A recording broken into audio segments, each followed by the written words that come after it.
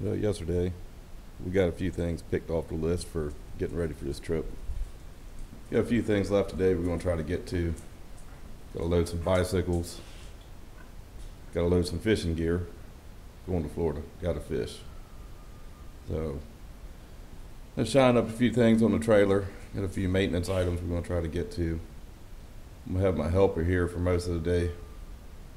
He's gonna try to help. We'll see. So stay tuned. See what we get into. What do you say, bud? Should we load the fishing stuff first? You think so? So we'll try to go ahead and get this loaded in the garage of the trailer and see if we can't get the rod strapped down in some manner that they'll survive the trip down there and not get rearranged too terribly. Well, we got those good and strapped down. That should make the ride. We'll find out 960 miles from here. Imagine next, we'll get the bikes. Get them all strapped in here.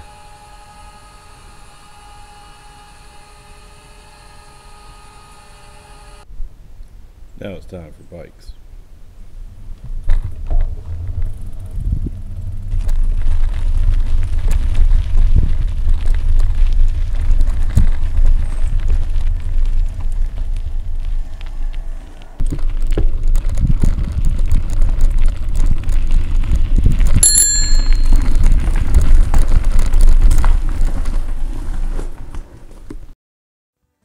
Before I could load bikes, I had to mount some tie downs on the wall.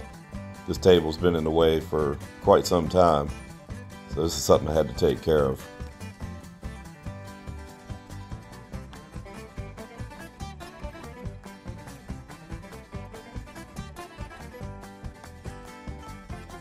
After I got done strapping down the bikes, I decided that I didn't like the way they were strapped down at all, so I completely redid it.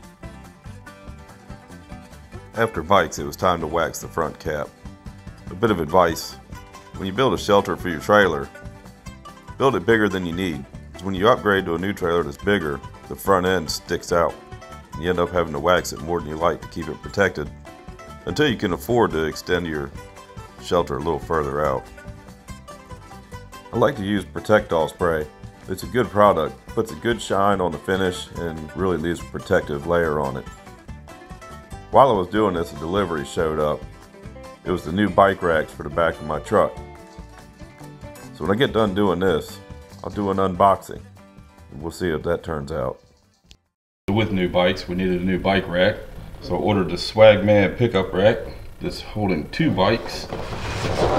Ordered it from E-Trailer. Got it to me pretty quick. A lot quicker than I expected. Pleasant surprise these days.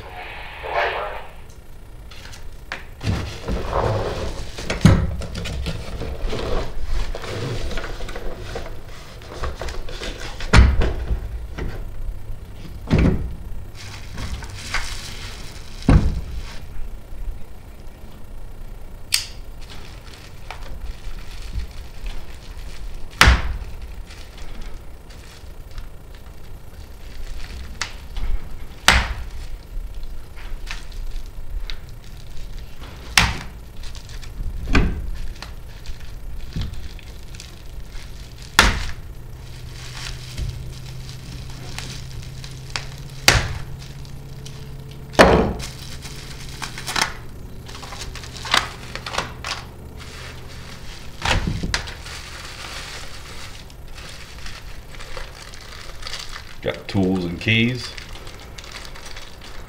Got some screws with Loctite on them.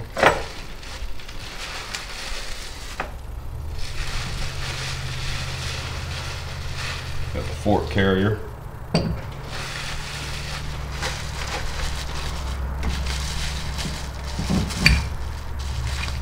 Second fork carrier.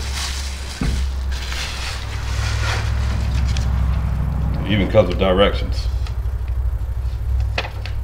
I think we'll skip these. Alright, so I've got everything put together here. Got this hinge broke in the middle. what I'm going to try to do, this pad on this side, and adjust this to the other side.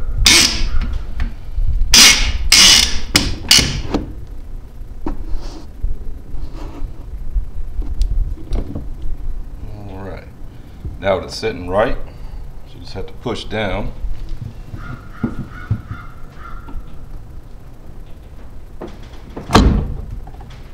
That button just locked into place. And that locks it in place. Out of the box, these attachments come one on the bigger tube and on the other side one's mounted on the smaller tube. When you go to relocate this to the smaller section, you'll find that it's loose. Open it up, this block will slide. Right off like that. And there's another hole on the bottom. Slide right back in and it'll hinge. And now it's ready for this side. So to recap the installation process these blocks that hold the forks of the bicycles are attached with these two screws that have thread locker on them they supply an allen key get those in there and get them torqued down we went over adjusting these blocks with these two screws. They supply Allen key for that as well. Once everything's assembled, adjust this bar with this joint broken open to fit the bed of the truck.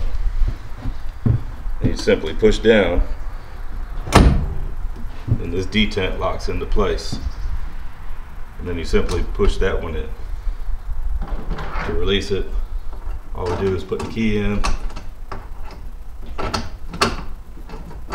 pops that out, and you can push this detent and lift this back up.